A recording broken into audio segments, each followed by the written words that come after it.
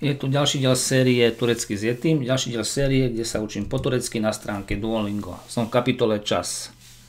Každý deň, to je Hervin, nosí kostým.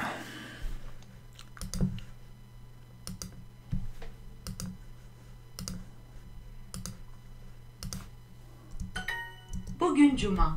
Dnes je Džuma, to je piatok je taká dvojica Džuma, Džumartesi.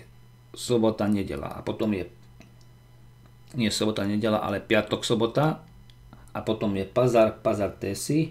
To je nedela, pondelok. Tá koncovka Tesi znamená po.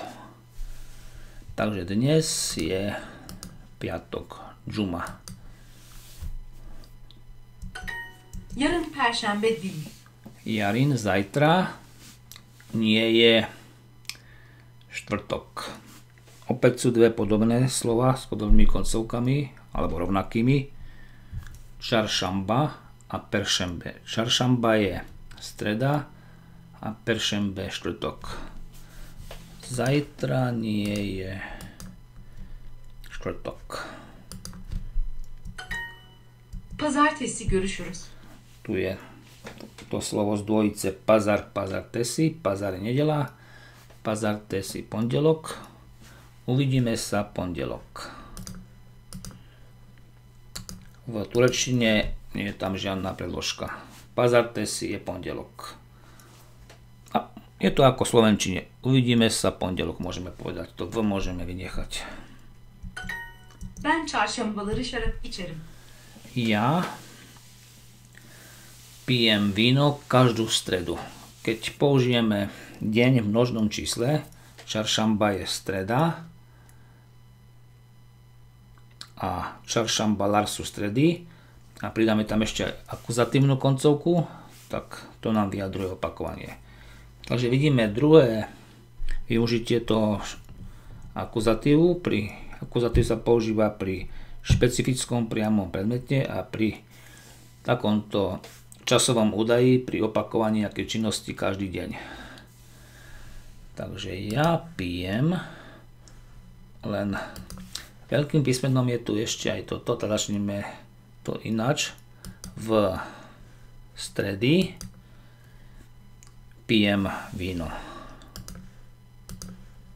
A na slovičko víno, šarap, čo mi pripomína tú tenisku šarapovú, Mám pripravené krátke video. Şarap var.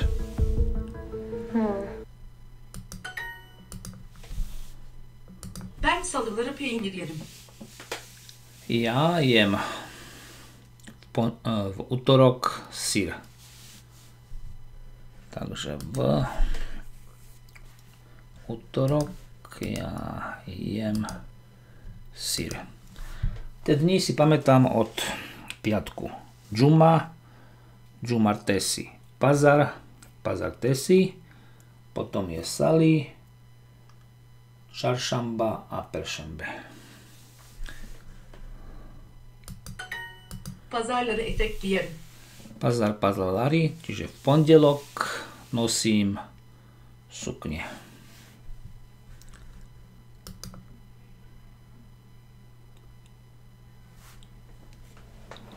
nie pondelok, pondelok by bolo Pazar Tesi. V nedele je to tam množné číslo. Pazarları. Pazar, pazalar a akuzatív pazalari. Takže v nedele nosím sukne. Pazartesi, salı ve çarşamba. Tu je ten pondelok. Takže pazartesi pondelok, sali útorok, a çarşamba je streda. Salı, pazartesiden sonra. Utorok. Utorok je po pondelku. Po je sonra. A to slovo, ktoré sa nachádza pred tým slovíčkom po, je v ablatíve. Ablatív je podobný ako lokál, ktorý má koncovku D alebo DA. A tu sa ešte pridáva nakoniec N. Takže je to úplne ľahké. Cumartesi günü zamanım yok. Takže to je sobotu. Nemám čas. To Gini je deň. Môžeme to brať ako zloženinu. Gini je deň, Gini je privlastňovanie. Takže ako keby v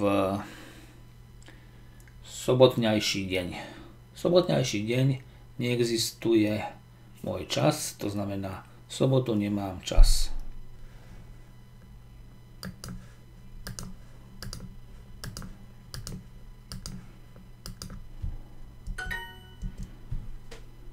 Salı, pazartesiden sonra. Čiže útorok Salı, po pondelku. pazartesiden Opäť tu máme to sondra, to znamená slovičko predtým bude ablatíve. Pazarte si je pondelok, koncovka den. Pazar, cumartesiden sonradır. Opäť ten tvar sondra, tento raz je tam pridaná tá koncovka dir. Takže pazar to je nedela. Nedela je po sobote. Nemám čas v sobotu. Sobota je Jumartesi, takže z týchto dvoch Gini je deň, sobotnejší deň. Môj čas neexistuje, takže sa mi páči táto prvá možnosť. Dnes je piatok. Bugin, Juma. To je Cuma. ten deň, kde začínam moje dni v týždni. Juma, Jumartesi, Pazar, Pazartesi, potom je Sali, Čaršamba a Peršembe. Nedela je po sobote. Pazar, Pazar, teraz pôjde tá sobota. Dávam to dobre? Áno, sobota je Jumartesi. cumartesiden A ablatív Jumartesi den tam musí byť, pretože je tu sonra. Perfektne.